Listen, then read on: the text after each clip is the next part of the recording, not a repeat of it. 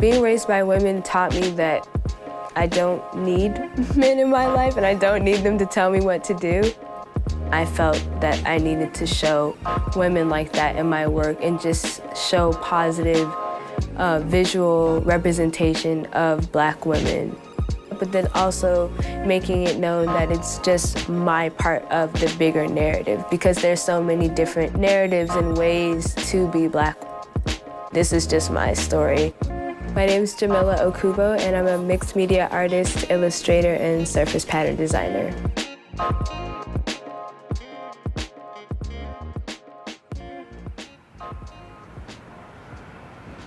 This is an affordable sharing studio space. I basically share my like actual studio space with one artist and then we have a bunch of like studio neighbors inside. So I was in 6th grade when I really knew that I wanted to take art seriously. I was raised in DC. My dad, he's Kenyan Trinidadian. My mom and dad got divorced when I was like really young. My dad, he was here for a, a, little while in the States, but then he moved back to Kenya and started a life there. And then the first time that I got to hang, hang out with him, I think I was like 13. And I think he just wanted to make an impression on me. And so he showed up to my mom's house and he had on like some sort of like Maasai warrior like fabric. And me being a teenager, I was just like, no, you have to go home and change because I'm not going to the mall with you like that.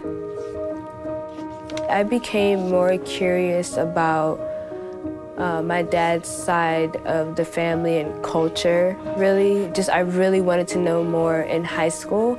I would say it was when I transferred to Duke Ellington. That's a um, art school in DC. And that was my first introduction to like contemporary black art. And I was like, oh, like, I can make art that's about me or like about where I'm from or if I want to say something. So I started to reach out to my uncle and I was like, can you like tell me more about Kanga fabrics? And then he sent me some. And then I just like got bold and like added my dad on Facebook and started asking him a lot of questions about the culture and stuff like that. In July last summer, I went to Kenya for the first time to like spend time with my dad and meet my relatives and like other siblings.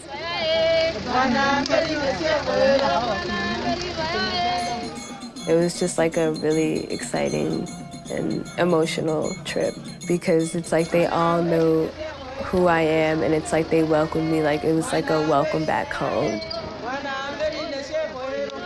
When I came back, I felt connected um, to my father's side of the family and just to Kenya in general.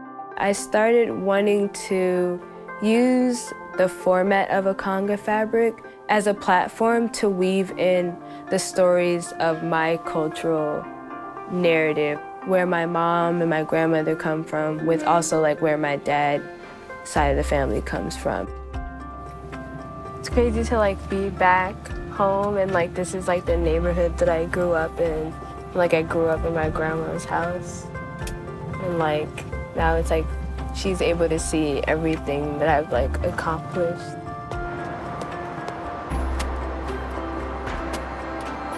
Hi grandma. Hey, how are you? I'm okay. All of my works from college and we just put them up on the fences in our in the backyard and had like a mini showing of my work from school. See, that's me in the corner cheesing really hard. Oh, oh my god. It's so funny. Then I also saw the strength in some of the, you know, things that I learned about like where my family came from. For example, like my grandmother, she would always tell me about stories of her growing up picking cotton to see where I am now at this age and like where she came from, it's like a big deal and it's something that I take with me wherever. My mom, she was a single mom and she raised me and then also had my brother and sister. When I grew up with my mom, she was in a domestic violence um, relationship. So I used to see a lot of violence growing up. Even through all of what we went through, she still made sure to like nurture what I wanted to pursue. And I think that even fueled the fire more for me to represent strong black women. I have a lot of respect for my mom and my grandmother and the sacrifices that they've went through and I know a lot of other women who also have gone through so much, even like, you know, all over the world. So it's just, I think it's just really important to push that narrative. A lot of hard work that's gonna, you know, is paid off, you know, all the hard work, all the sacrificing, you know, and we couldn't have done it, of course, without uh, my mom. She was a huge help. You know, she spoiled Jamilla rotten. So, so she got her started on the fashion tip Yeah. early. So, and um, I supplied her with all the art and the education aspect. So, so we, it was a team. It was a team effort. When she was tiny, you know, she was just like a little, I don't know, a butterfly, just going everywhere and doing everything, you know. And uh, we just hit it off really good.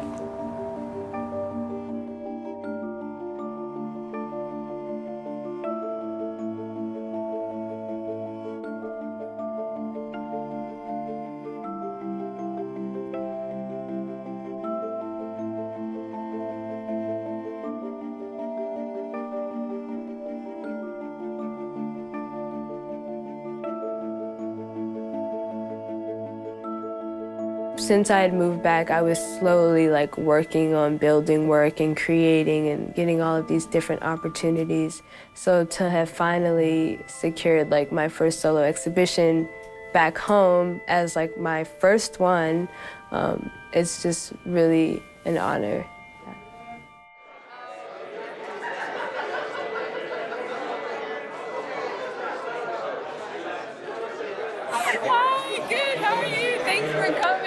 I've been focusing a lot on African proverbs and African American folk tales. A lot of people don't know that I'm the artist because I'm like really young, so I'm just like, they're like, oh, you're the artist. I've always dreamed of like having my works like in a gallery or like in a space like this, but I don't think I ever thought about like what I wanted from that, except of course representation and like being able to tell my own story. So like seeing people, strangers just take it in, it's like amazing. Especially for my grandmother to be here, because a, a lot of the works, especially the, my earlier works, were inspired by her and stories that she has told me. Wow, thank you for coming, Grandma. With art specifically, which I've learned, no matter what kind of day you're having, whether it's bad or good, like keep making work.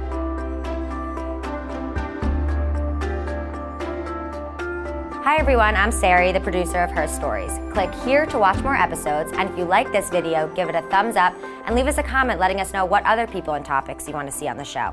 And make sure to subscribe to NowThis Her. Thanks for watching.